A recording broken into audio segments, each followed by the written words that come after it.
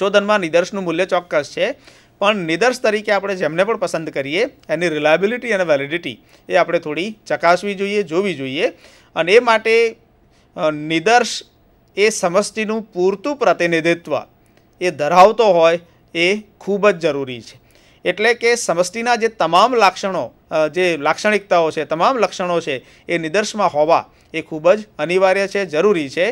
અને એ અર્થમાં અ, નિદર્શની પસંદગી એ ખૂબ જ કુને અથવા તો કુશળતા જેને આપણે કહી શકીએ એક સંશોધક તરીકે એ માગે લેતું કામ છે. એટલે હેઝાર્ડલી નિદર્શની પસંદગી નહીં થતાં, જે આપણે સિમ્ટમ્સ અથવા તો જે લાક્ષણિકતાઓ નક્કી કરેલી છે, નિયત કરેલી છે, એ તમામ લાક્ષણિકતાઓ ધરાવતો હોય એવો જે નિદર્શ છે એને આપણે અહીંયા આપણા અભ્યાસના પાત્ર તરીકે એ લેવાના છે. જેથી અભ્યાસ માટેનો આપણો જે આશય છે, હેતુ છે જેને આપણે ફૂલફિલ કરી શકીએ. અને આગળ હેતુની પણ આપણે વાત કરી કે અલ્ટિમેટલી ગોલ એ જે રિસર્ચનો અલ્ટિમેટ જે ગોલ છે, એ આખરે તો કોઈને કોઈ સમસ્યાને જાણવાનો, સમજવાનો કોઈ પણ એવા પ્રોબ્લેમેટિક ઇસ્યુઝ હોય તો એનું નિદાન થાય અને એનું સારવાર થાય અથવા તો એને prevention is the better than cure એ બાબતને આપણે ધ્યાનમાં રાખીએ તો ઇવન ફ્યુચરમાં પણ કોઈ સમસ્યા ક્રિએટ થવાની હોય તો એના સંદર્ભમાં પણ પ્રિવેન્શન તરીકે એ વસ્તુનો આપણે ઉપયોગ એ કરી શકીએ છીએ. તો આ થઈ બધી વસ્તુઓ નિદર્શ, નિયત કરતી વખતે ધ્યાનમાં રાખવાની બાબતો, નિદર્શનું મહત્ત્વ સમષ્ટિનો અર્થ, નિદર્શનો અર્થ, આ તમામ બાબતોને આપણે સ્ટેપ બાય સ્ટેપ જોઈ છે. અને સાથે સાથે આપણે એ પણ જોવાનું છે કે વ્યવહારિક જીવનમાં હા, સંશોધનનો ઉપયોગ એ દિન બદિન વધતો જાય છે. ત્યારે આ બધી બાબતોને જેટલા રિલાયબિલિટીથી હા, એનો ઉપયોગ કરવામાં આવશે એટલા રિસર્ચના જે ફાઇન્ડિંગ્સ છે, એને આપણે બહુ મોટા માસ ઉપર એ સારામાં સારી રીતે લાગુ પાડી શકીશું અને એનો મેક્સિમમ જે બેનિફિટ્સ છે, એ પણ આપણે મેળવી શકીશું. હવે મિત્રો, આપણે જે વિષય ઉપર જવું છે, એ વિષય છે નિદર્શનના સિદ્ધાંતો પ્રિન્સિપલ્સ ઓફ સેમ્પલ નિદર્શનની પદ્ધતિઓ તરીકે પણ આપણે એને ઓળખી શકીએ. તો હું મારા સાથી સહાયક અધ્યાપક મિત્ર ડૉક્ટર જિગ્નેશભાઈ ટાપરિયાને વિનંતી કરીશ કે આ બાબતથી આપણને પરિચિત કરાવે જિગ્નેશભાઈ ટાપરિયા. નમસ્કાર મિત્રો. નિલેશભાઈ આપે જે વાત કરી કે નિદર્શ પસંદ કરવો એટલે સમષ્ટિમાંથી કોઈ એક ભાગ એક એકમને પસંદ કરવો પણ તો એવું પણ બની શકે ને કે આપણે જે એકમને પસંદ કરીએ છીએ એ ખરેખર પ્રતિનિધિરૂપ એકમ પસંદ થયો છે કે કેમ? તો એ માટે જે છે એ નિદર્શ પસંદ કરવાની ચોક્કસ પ્રણાલીઓ વિકસાવવામાં આવી છે. અને એને નિદર્શ નિદર્શ પસંદ કરવાની પ્રણાલી એટલે કે નિદર્શન કહેવામાં આવે છે. નિદર્શન એવી એવી બાબત છે કે જેની અંદર નિદર્શ પસંદ કરવા માટે જુદી જુદી પદ્ધતિઓનો ઉપયોગ થાય છે. અને આવી એ બે પદ્ધતિઓ ખૂબ જાણીતી છે. એક સંભાવના નિદર્શન છે અને બીજું એ બિનસંભાવના નિદર્શન છે. સંભાવના અને બિનસંભાવના બંનેને probability and non probability sampling એવું કહેવામાં આવે છે. સંભાવના નિદર્શન એવું કહેવા માગે છે કે સમષ્ટિના પ્રત્યેક એકમને નિદર્શમાં પ્રવેશ પામવાની સંભાવના નિશ્ચિત કરી શકાતી હોય તો એને સંભાવના નિદર્શન કહેવાય.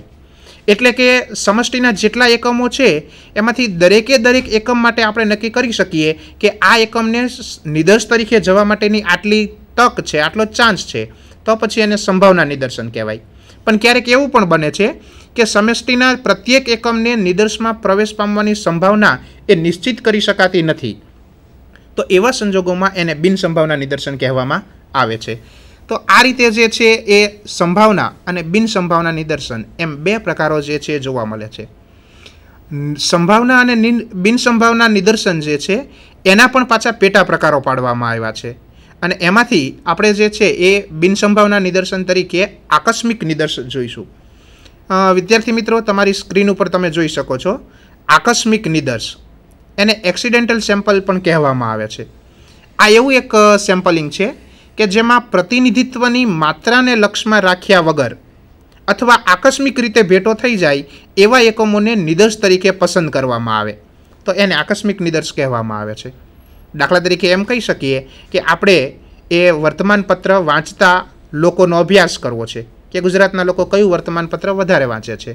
તો એ માટે આપણે ઘરની બહાર કે ઓફિસની બહાર જઈએ અને જે લોકો આપણને સામે મળે એને આપણે પૂછી લઈએ કે તમે કેવું, કયું પેપર વાંચો છો. તો આ જે છે એ પ્રતિનિધિત્વની માત્રા ધ્યાનમાં નથી રાખી અને એ રીતે જે છે આકસ્મિક નિદર્શ પસંદ કરવામાં આવ્યું છે. આ નિદર્શ જે છે એને સગવડિયું નિદર્શન પણ કહેવામાં આવે છે. અને એટલા માટે સગવડિયું નિદર્શન કહેવામાં આવે છે કે વ્યક્તિ પોતાની સગવડ પ્રમાણે પોતાને જે અનુકૂળતા છે એ પ્રમાણે જે છે એ નિદર્શની પસંદગી કરી લે છે. આ એવું નિદર્શ છે કે જ્યાં નિદર્શનું કદ પહેલેથી નક્કી થયું હોતું નથી. એટલે નિદર્શની અંદર કેટલા લોકોનો સમાવેશ કરશું? એ અંગેનું પહેલાંથી કોઈ સંખ્યા જે છે નક્કી કરવામાં આવતી હોતી નથી. જ્યારે આપણને સમષ્ટિ વિશે જાણકારી ન હોય સમષ્ટિના સભ્યો કોણ છે, એના એકમો કોણ છે, એના વિશેની જ્યારે આપણી પાસે જાણકારી નથી, ત્યારે આ આકસ્મિક નિદર્શ જે છે ખૂબ ઉપયોગી બને છે. મતદારોનો અભિપ્રાય લેવા માટે આ રીત ખૂબ ઉપયોગી છે. અને એટલા માટે રીત ઉપયોગી છે કે મતદારોમાં આપણી પાસે કુલ સંખ્યા હોય કે આટલા લોકો છે. પણ એમાંથી આપણે કેટલા લોકો મળશે, ક્યારે કયા લોકોની મુલાકાત થશે, એ કંઈ ફિક્સ હોતું નથી. અને એટલા માટે એવા સંજોગોમાં આ પદ્ધતિ જે છે ખૂબ ઉપયોગી બને છે. જ્યારે આકસ્મિક નિદર્શ પદ્ધતિનો ઉપયોગ કરીએ, તો એના માહિતી વિશ્લેષણ માટે બિન પ્રાચલ્ય એટલે કે નોન પેરામેટિકલ સ્ટેટિસ્ટિક જે છે, એનો ઉપયોગ કરવો જે છે એ હિતાવહ હોય છે. આકસ્મિક નિદર્શનની કેટલીક મર્યાદાઓ પણ છે. પહેલી મર્યાદા એ છે કે સમષ્ટિનું પ્રતિનિધિત્વ ધરાવતા એકમોની પસંદગી થતી નથી. આમ તો નિદર્શની વ્યાખ્યામાં જેવી વાત આવે છે કે પ્રતિનિધિત્વ ધરાવતા એકમોની પસંદગી કરવી. પણ આ એક એવી પદ્ધતિ છે કે એની અંદર દરેકે દરેક એકમોનું કોઈ પ્રતિનિધિત્વ નક્કી થઈ શકતું નથી. દરેક એકમને નિદર્શ તરીકે પસંદ થવાની કેટલી તક મળી છે એ અંગે પણ જે છે જાણી શકાતું નથી. ત્રીજી એની મર્યાદા એ આવે છે કે સમષ્ટિ વિશેના જે તારણો છે એ વિશ્વાસપૂર્વક તારવી શકાતા નથી. અને બહુ કઠિન કામ છે. અને આ એટલા માટે કઠિન કામ છે કે જ્યારે આપણે પાંચ દસ લોકો આપણને જે મળી આવ્યા છે ને એને પ્રશ્ન પૂછી લઈએ અને એ લોકો જે જવાબ આપે, એ જ જવાબ બધાને લાગુ પાડ, લાગુ પડતો હોય એવું સો ટકા વિશ્વાસ સાથે કહેવું એ કામ થોડું કઠિન કહી શકાય છે. અહીંયા પરિણામો જે પ્રાપ્ત થાય છે, એનું સામાન્યકરણ કરવાનું કામ પણ કઠિન છે. અને એની અગાઉ જે વાત કરી એ એ રીતે કે બે પાંચ લોકોને પૂછવામાં આવેલા પ્રશ્નના જવાબ એ બાકીના તમામ લોકો સમગ્ર માસને લાગ, લાગુ પાડવા, તો એ પણ થોડું જે છે એ કઠિન કહી શકાય. અને એટલા માટે એમ કહેવાય છે કે આ નિદર્શ એ વૈજ્ઞાનિકતાની જે છે એ બહુ ઓછી ધરાવે છે. જ્યારે બીજી કોઈ રીતે નિદર્શ નક્કી કરવાનું શક્ય ન હોય, ત્યારે આ પ્રકારનું નિદર્શ જે છે એ ઉપયોગી બનતું હોય છે. ત્યાર પછી નિદર્શ પસંદ કરવાની બીજી પદ્ધતિ આવે છે અને એ છે નિયત હિસ્સા નિદર્શ. એનું નામ જ છે નિયત હિસ્સા. એટલે કે અગાઉથી નક્કી કરેલો એક ચોક્કસ હિસ્સો સમષ્ટિના ઘટક તત્વોને સમષ્ટિમાં તેમના પ્રમાણ અનુસાર નિદર્શ માટે પસંદ કરવામાં આવે, ત્યારે નિયત હિસ્સા નિદર્શ કહેવામાં આવે છે. એટલે કે સમષ્ટિની અંદર એનું કેટલું પ્રમાણ છે? જેટલું પ્રમાણ હોય એ પ્રમાણના સંદર્ભમાં એની પસંદગી કરવાની હોય છે. તો એને ચોક્કસ ભાગ તરીકે કહેવામાં આવે છે આને કોટા સેમ્પલ પણ કહેવામાં આવે છે. સમષ્ટિને જુદા જુદા લક્ષણો, જેમ કે એની જાતિ, શિક્ષણ, વય, આ બધાના સંદર્ભમાં સમષ્ટિમાં એનું જે પ્રમાણ હોય એ પ્રમાણના આધારે એને નિદર્શમાં સમાવવામાં આવે છે. અને આ અંગેનો હિસ્સો એ પહેલેથી નક્કી કરવામાં આવે છે તથા દરેકે દરેક સ્તરમાંથી પૂરતી સંખ્યામાં સભ્યોને પસંદ કરવામાં આવે છે. દાખલા તરીકે આપણે પચાસ માણસોની પસંદગી કરવી છે એક કોઈ અભ્યાસ માટે. અને આપણને જાણકારી પ્રાપ્ત થાય છે કે એમાં પાંચસો લોકો છે. તો પાંચસોમાંથી પુરુષો કેટલા, સ્ત્રીઓ કેટલી, શિક્ષિત કેટલા, અશિક્ષિત કેટલા, એનું પ્રમાણ નક્કી કરવાનું. અને એ પ્રમાણને આધારે જ એનો હિસ્સો નક્કી કરીને એને જ્યારે અભ્યાસમાં સમાવવામાં આવે, તો એને નિયત હિસ્સા નિદર્શ જે છે એ કહેવામાં આવે છે. સમષ્ટિના વિભિન્ન ઘટકોનું અહીંયા વિભિન્ન ઘટકો કે તત્વો એનું પ્રમાણ જાણવવામાં આવતું હોય છે. દરેકે દરેક એકમને નિદર્શમાં સમાવિષ્ટ થવાની સરખી તક મળતી નથી. કારણ કે દરેક માટે આપણે કોટા નક્કી કરી દીધો છે. દરેકનો એક હિસ્સો નક્કી કર્યો છે. અને એટલા માટે દરેક સભ્યને અહીંયા પ્રવેશ પામવાની સમાન તક પ્રાપ્ત નથી થતી. કયા એકમોને નિદર્શમાં સમાવવા તેનો નિર્ણય નિદર્શ પસંદ કરનાર લે છે. નિદર્શની અંદર કોને સમાવશું? કોને નિદર્શમાંથી બાકાત રાખશું? એ અંગેનો નિર્ણય જે છે, એ નિદર્શ પસંદ કરનાર વ્યક્તિ પોતે લે છે. અને જ્યારે વ્યક્તિ પોતે નિર્ણય લે, તો પછી પોતાની પસંદગી છે, પોતાના અભિપ્રાય છે, પોતાના મનોવલણ, આ બધાની અસર પણ જે છે, એના ઉપર થતી હોય છે. પણ ખાસ કરીને જ્યારે લોકોની પસંદગી અંગેની જાણકારી મેળવવી હોઈએ, લોકોના અભિપ્રાય વિશે જાણવું છે, કે કોઈ વિષય અંગેના મનોવલણ અંગે સર્વેક્ષણ કરવું હોય, ત્યારે આ પદ્ધતિ જે છે, એક વિશેષ ઉપયોગી બને છે. જેમ કે અગાઉ મેં ઉદાહરણ આપ્યું છે કે વિદ્યાર્થીઓ કયા વર્તમાનપત્રને વધારે પસંદ કરે છે. તો એવા સંજોગોમાં આપણે વિદ્યાર્થીઓની પસંદગીને જાણવી છે. તો ત્યારે જે છે એ આ પ્રકારની પદ્ધતિ જે છે એ ઉપયોગી બની શકે છે. ત્યાર પછી જ્યારે મુલાકાત લેનાર નિદર્શમાં પોતાના પરિચિતોનો સમાવેશ વધુ કરે એવું પણ શક્ય છે. કોઈપણ વ્યક્તિ જ્યારે નિદર્શની અંદર સભ્યોની પસંદગી કરે છે, ત્યારે એવું બને કે એની વ્યક્તિગત અસરતાઓ એ પણ એના ઉપર જોવા મળે. એટલે કે વ્યક્તિ પોતાના પરિચિત, પોતાની સાથે જોડાયેલા હોય એવા લોકોની વધારે પસંદ કરે. અને જ્યારે આવી પસંદગી કરવામાં આવે છે, ત્યારે ત્યાં એક જોકની અસર થાય છે. એનો અર્થ એવો થાય કે કોઈ એક તરફ પરિણામ આવવાની શક્યતા વધારે છે.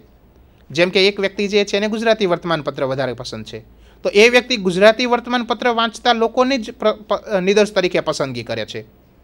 એના ઉપર સમયની પણ અસર પડતી હોય છે. આની મર્યાદા એ છે કે ચોકસાઈભર્યા સામાનીકરણ જે છે એ અહીંયા તારવી શકાતા નથી. ચોકસાઈભર્યા સામાનીકરણ એટલા માટે નથી તારવી શકાતા કે જો આવા સામાનીકરણ તારવવા હોય તો દરેકે દરેક બાબત ઉપર ચોકસાઈપૂર્વક અને વૈજ્ઞાનિક દ્રષ્ટિએ ધ્યાન આપવું પડે. પણ આ પસંદગીમાં આવી કેટલીક મર્યાદાને કારણે આ ચોકસાઈભર્યું સામાનીકરણ તારવી શકાતું નથી. આર્થિક દ્રષ્ટિએ અને સમયની દ્રષ્ટિએ આ કરકસરભરી પદ્ધતિ છે. અને એટલા માટે આ પદ્ધતિ જે છે, એ સામાજિક વિજ્ઞાનોની અંદર ઉપયોગમાં લઈ શકાય છે. આ પદ્ધતિનો એક બહુ સારો એવો લાભ પણ છે કે કોઈ પણ એક સભ્ય જો સહકાર ન આપે, તો તેના સ્થાને અન્ય સભ્યની પણ પસંદગી થઈ શકે છે. જેમ કે આપણે કોઈ એક વ્યક્તિને પ્રશ્ન પૂછીએ છીએ કે તમે કયું વર્તમાનપત્ર વાંચો છો? અને એ વ્યક્તિ આપણને એનો જવાબ આપવાનું પસંદ નથી કરતો. તો એના સ્થાને જે છે, એ આપણે બીજા વ્યક્તિની પસંદગી કરી શકીએ છીએ. તો આ એક આ પદ્ધતિનો વિશેષ લાભ પણ છે. પછીની જે પદ્ધતિ છે, એ સહેતુક નિદર્શ છે. એનું નામ જ દર્શાવે છે સહેતુક, એટલે હેતુપૂર્વક. કોઈ વિશેષ હેતુ, કોઈ એક ચોક્કસ હેતુને ધ્યાનમાં રાખી ઈરાદાપૂર્વક જ્યારે સમષ્ટિમાંથી એકમોની પસંદગી કરવામાં આવે તો એને સહેતુક નિદર્શ કહેવામાં આવે છે. આ એક એવી પદ્ધતિ છે કે જેમાં સંશોધન કરતા એ પોતે પોતાના હેતુને આધારે એ નિદર્શની પસંદગી કરવાનું વિચારે છે. કોઈ એક હેતુ એના મનની અંદર હોય છે કે મારે આ હેતુ માટે સંશોધન કરવાનું છે અને એ માટે મારે આવા જે છે એ નિદર્શની જરૂર છે. અને એ હેતુને ધ્યાનમાં રાખીને જ્યારે ઈરાદાપૂર્વક પસંદગી કરવામાં આવતી હોય તો એને સહેતુક નિદર્શ કહેવામાં આવે છે. આવો નિદર્શ પસંદ કરવા માટે સમષ્ટિ વિશેની જાણકારી હોવી ખૂબ જરૂરી છે. જ્યારે આપણે નિદર્શની પસંદગી કરીએ, ત્યારે વ્યક્તિ પાસે સમગ્ર સમષ્ટિ વિશેની જાણકારી હોવી જોઈએ. જેમ કે સ્ક્રીન ઉપર આપણે એક વ્યવહારિક ઉદાહરણ જોઈ શકીએ છીએ કે વેપારી મગફળીની ખરીદી કરતી વખતે સમગ્ર જથ્થામાંથી અમુક મગફળી ખરીદ, અમુક મગફળીની ખરીદી કરે. એનો તેલનો ઉતારો કાઢે. તો એના આધારે જે છે એ પોતે નક્કી કરી શકે છે કે બાકીની જે બધી મગફળી છે એ કેવી હશે. એવી રીતે ખેડૂત કે વેપારી એ કપાસનો ઉતારો કાઢે છે. સમગ્ર કપાસની જે સમષ્ટિ છે, કપાસનો એક મોટો ઢગલો પડ્યો છે, એમાંથી જે છે કેટલાક એકમોને પસંદ કરશે. એ એકમો એ એકમોમાંથી એ કપાસને અલગ તારવે છે અને અલગ તારવા પછી જે છે એ પોતે નક્કી કરે છે કે આમાંથી કેટલો ઉતારો આવે છે. અને એના આધારે એ તારણ એ સમગ્ર સમષ્ટિને લાગુ પાડે છે. એટલે બાકી રહેતો સમગ્ર કપાસ જે છે, એનો આટલો ઉતારો આવશે એવો એ અંદાજ લગાવે છે. પણ અહીંયા એ બાબત બહુ જરૂરી બને છે કે મગફળીની ખરીદી કરનાર વેપારીને કે કપાસનો ઉતારો કરતા ખેડૂતને કે વેપારીને એને પોતાને મગફળી અને કપાસ વિશેનું જ્ઞાન હોવું જરૂરી છે. અને ત્યારે જ જે છે, એ આ સહેતુક નિદર્શ પદ્ધતિ જે છે, એ સારી રીતે સફળ બની શકે છે. સહેતુક નિદર્શની કેટલીક મર્યાદા છે. અહીંયા જ્યારે વ્યક્તિની પસંદગી થાય છે, ત્યારે એ પસંદગી હેતુને આધારે થાય છે. અને હેતુને આધારે નિદર્શની પસંદગી થતી હોવાથી દરેકને નિદર્શમાં પ્રવેશ પામવાની તક મળતી નથી. એવું બને કે જેનાથી વધારે પરિચિત છે અથવા વ્યક્તિને જે સારી ગુણવત્તા ધરાવતું લાગે છે, એવા લોકોને વધારે સારી રીતે સમાવિષ્ટ કરવામાં આવે. સામાજિક વિજ્ઞાનોના જો સંશોધનની વાત કરીએ, તો વ્યક્તિને પોતાને સંશોધન કરવું છે અને વ્યક્તિનો હેતુ એવું છે કે મારે પ્રશ્નાવલીઓ ભરાવવી છે. તો વ્યક્તિ ત્યાં માત્ર શિક્ષિત લોકોનો જ સમાવેશ કરશે. તો એનાથી એવું બનશે કે સમગ્ર સમષ્ટિમાં રહેલા અશિક્ષિત લોકો એ આ નિદર્શની અંદર પ્રવેશ પામવાની તકથી વંચિત રહી જશે. અને એટલા માટે એ દરેકને અહીંયા નિદર્શની અંદર પ્રવેશ પામવાની સમાન તક મળી નથી એવું આપણે કહી શકીએ. સમષ્ટિનો કયો ભાગ સમગ્ર સમષ્ટિનું પ્રતિનિધિત્વ કરે છે તેની પૂર્વ માહિતી હોવી જોઈએ. નિદર્શ પસંદ કરનારને એ ખ્યાલ હોવો જોઈએ કે સમગ્ર સમષ્ટિમાંથી કયા એકમો એવા છે કે જે સમગ્ર સમષ્ટિનું પ્રતિનિધિત્વ કરે છે. એટલે સમષ્ટિના, સમગ્ર સમષ્ટિના જે કાંઈ ગુણ છે, એના જે કાંઈ લક્ષણો છે, એની જે કાંઈ ખાસિયતો છે, એ બધા જ ગુણ, લક્ષણ, ખાસિયતો એ પસંદ કરવામાં આવનાર નિદર્શની અંદર પણ હોવા જોઈએ. એ અંગેની જાણકારી જે છે, એ સંશોધકની પાસે હોવી જોઈએ. સમષ્ટિ પરિવર્તિત હોય છે. અને તે અંગેની જાણકારી એ સંશોધક પાસે હોવી જોઈએ. સામાજિક વિજ્ઞાનોમાં ઘણી વખત એવું પણ બનતું હોય છે કે નિદર્શ તરીકેની જ્યારે એકમોની પસંદગી કરવામાં આવે, તો નિદર્શના લક્ષણોની અંદર પરિવર્તન આવી જતું હોય છે. એવું પણ પરિવર્તન હોય કે ક્યારેક એ પરિવર્તન શિક્ષણની બાબતમાં છે. દાખલા તરીકે પ્રાથમિક શાળામાં અભ્યાસ કરતા વિદ્યાર્થીઓ ઉપર આપણે અભ્યાસ કરવો છે. હવે એવું બને કે આપણે જ્યારે નિદર્શની પસંદગી કરી છે, ત્યારે એ વિદ્યાર્થી પ્રાથમિક શાળામાં ભણે છે. અને જ્યારે આપણે ખરેખર એની પાસે માહિતી લેવા માટે જઈએ, ત્યારે એ પ્રાથમિક શાળાને બદલે માધ્યમિક શાળામાં આવી ગયો હોય. તો એને કારણે જે છે, એ સમષ્ટિ પરિવર્તિત છે અને એ સમષ્ટિમાં ક્યારે પરિવર્તન આવવાનું છે એ અંગેની જાણકારી એ સંશોધક પાસે હોવી જોઈએ. એવી જ રીતે બીજા વ્યવહારિક સંશોધનોમાં પણ ક્યારેક એવું બની શકે છે. જેમ કે કોઈ એક વિસ્તારમાં રહેતા લોકો પાસેથી માહિતી લેવી છે. હવે એ વિસ્તારમાં રહેતા લોકોને જ્યારે પસંદ કરવામાં આવે, ત્યારે એ લોકો એ વિસ્તારમાં રહેતા હોય છે. અને જ્યારે ખરે, ખરા અર્થમાં એની પાસેથી માહિતી લેવા જવામાં આવે, ત્યારે કદાચ એમણે પોતાનો વિસ્તાર બદલાયો હોય. તો એવા સંજોગોમાં સંશોધકને પોતે ખ્યાલ હોવો જોઈએ કે સમષ્ટિ એ પરિવર્તિત હોય છે અને એટલા માટે એ કયા, કઈ તરફ પરિવર્તન પામે છે એ અંગેની જાણકારી પણ એની પાસે હોવી જોઈએ. આ નિદર્શનની એક મર્યાદા ચોથી એ પણ છે કે એમાં સંશોધકના પક્ષપાતની પણ અસર થઈ શકે છે. કેટલાક સંશોધક પોતે કોઈ પ્રકારના પૂર્વગ્રહ ધરાવતા હોય, ગમા અણગમા ધરાવતા હોય, તો એની અસર પણ જે છે એ આ સંશોધન ઉપર થઈ શકે છે. આપણે એમ કહી શકીએ કે વ્યક્તિગત બાબતો, એ વ્યક્તિગત બાબતો પણ જે છે એ નિદર્શ પસંદ કરવાની પદ્ધતિ ઉપર અસર કરે છે.